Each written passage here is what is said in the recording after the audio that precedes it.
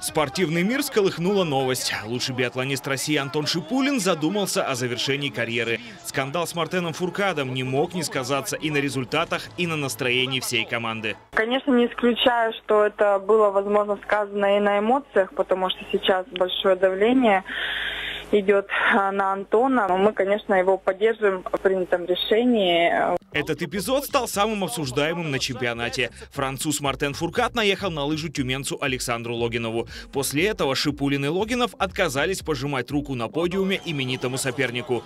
Нервы сдали и у российского голоса биатлона. Мартен, ты свинья! Вот это можно сказать на всю страну. После этой реплики соцсети заполнили хэштеги и картинки, высмеивающие француза.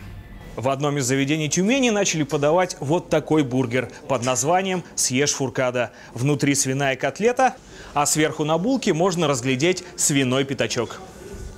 Блюдо пришлось по вкусу поклонникам биатлона, в том числе Ирине Николаевой. Организатор фан-сборной России недавно вернулась с чемпионата Европы. И не все болельщики вели себя корректно по отношению к тюменским стреляющим лыжникам.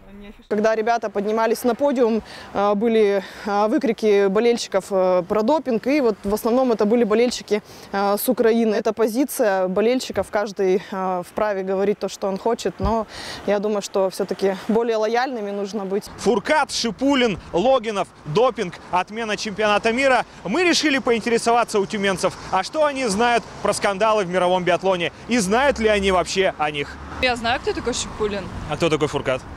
Ну, тоже, получается, он немецкий, нет, биатлонист? Ну, французский. Ну, бывает. Кто читает тоже неправильно, не надо свиньями называть всеми этими. Это, это не, не в нашу пользу играет, поверьте.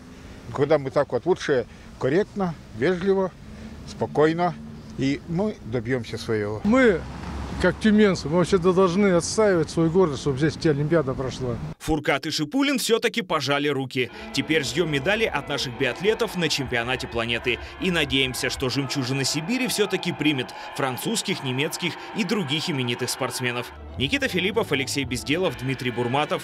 Тюменское время.